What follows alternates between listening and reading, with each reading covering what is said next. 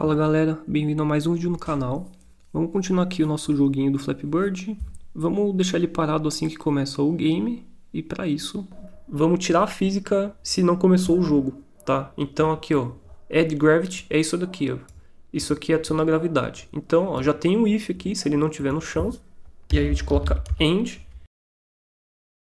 Aí a gente vai adicionar se ele começou o jogo, tá? Então se começou o jogo, uh, ele vai aqui e vai adicionar gravidade senão a gravidade não funciona. E é isso que a gente tem. É, ele começa aqui e assim que a gente apertar vai começar o jogo. E vocês podem perceber que eu quero saber quando o jogo começou também na cena principal, no script da main. Então a gente vai fazer a mesma coisa. Eu vou copiar essa variável aqui, em vez de ficar criando um monte de sinal,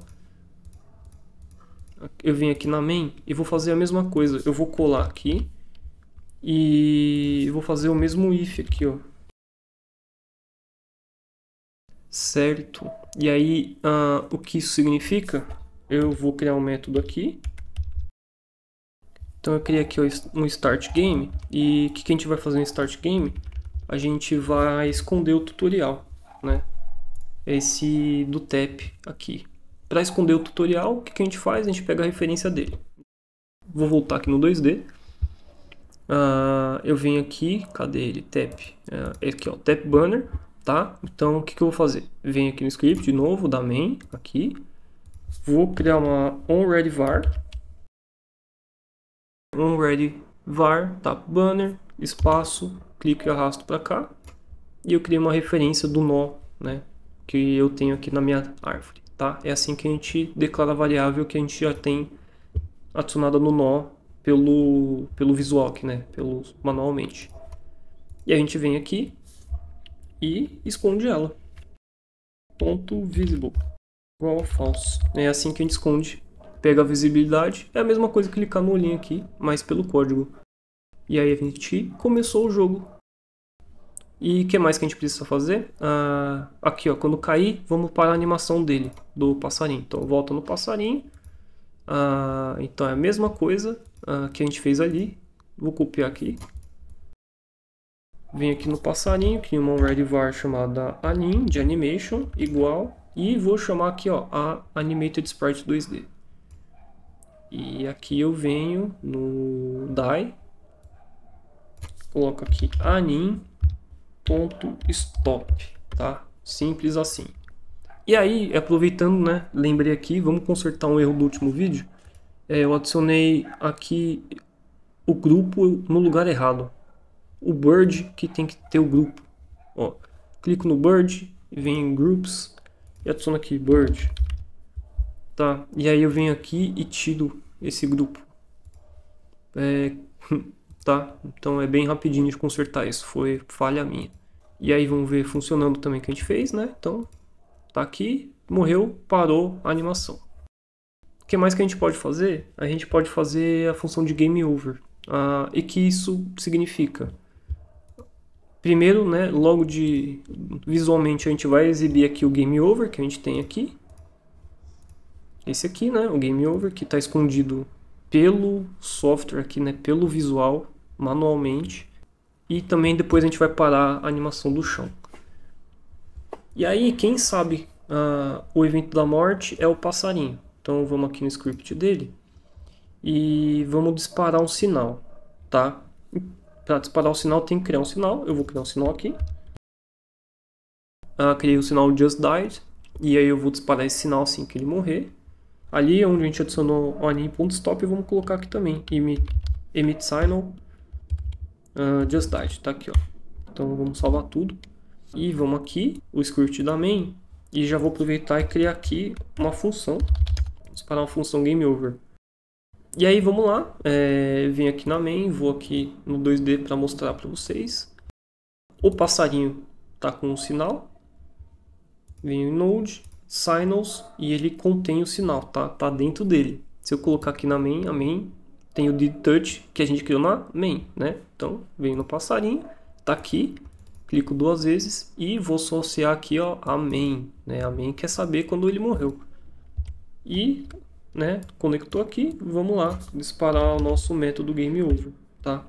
O que, que o game over vai fazer? Acabei de falar, vai mostrar o Game Over Banner. Então eu vou copiar e colar isso aqui. Game Over Banner e vou arrastar aqui do mesmo jeito. Vou copiar aqui e Game Over Banner, Visible. Ah, opa, é True, né? Então vai ficar visível. E a gente pode rodar o jogo aqui de novo. E assim que ele cair, parou a animação e, e disparou o Game Over.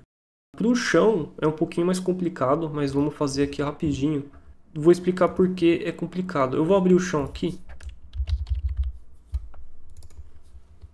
Uh, aqui. Eu abri o chão uh, e ele tá aqui o sprite que contém a shader que anima e faz isso aqui. E a gente quer parar isso, né? Parar isso significa pegar o parâmetro speed da shader e colocar para zero. Ah, e aí, como que eu vou fazer isso? Se eu não tenho acesso, é a main que vai fazer ele parar e a main não tem acesso. E aí a gente vai resolver isso de um jeito mais ah, simples, eu diria. É adicionar esse unique name. Mas aí é bom renomear aqui, tá? Então tira esse nome padrão e coloca aqui, ó, floor sprite. E aí sim clica com o botão direito e vem aqui, ó, access as unique name. Então a gente vai ter acesso ao nó com nome único e exatamente isso aqui, ó. Vou até copiar e colar. Então copiei aqui, salvei, Command S, vou fechar.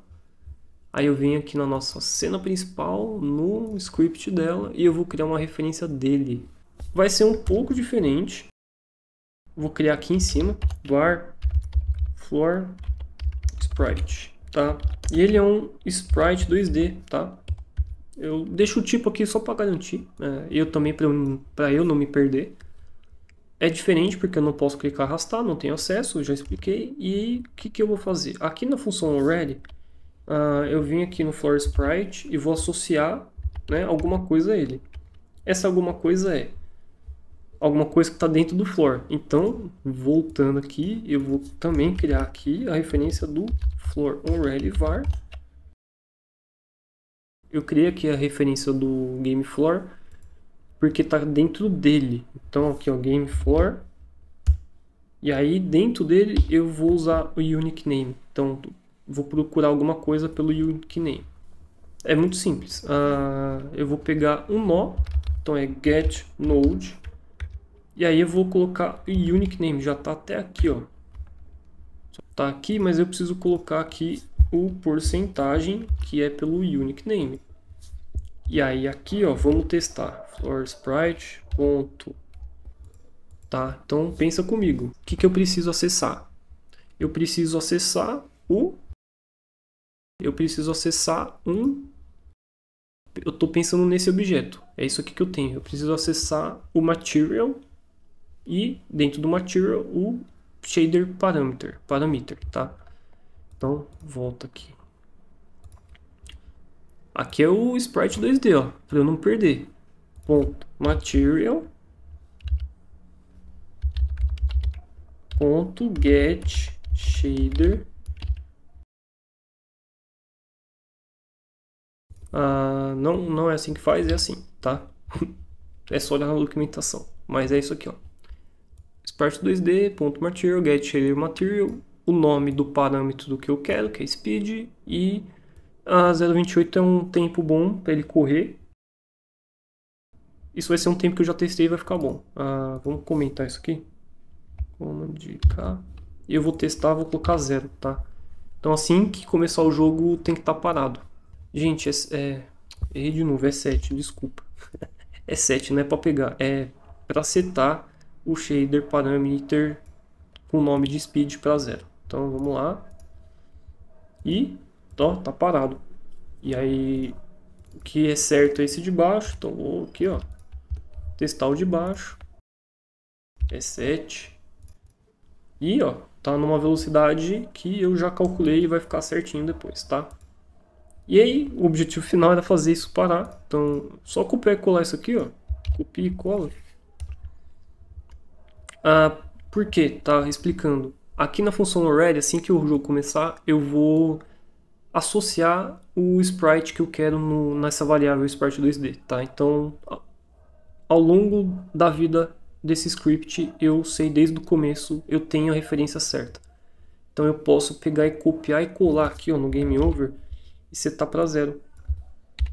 Então ele vai pegar lá nosso Sprite 2D do chão, o material, vai setar shader parameter speed para zero, tá? Então vem aqui e vou morrer e parou, tá? Parou tudo, deu game over, tudo certo. É, eu vou parar por aqui.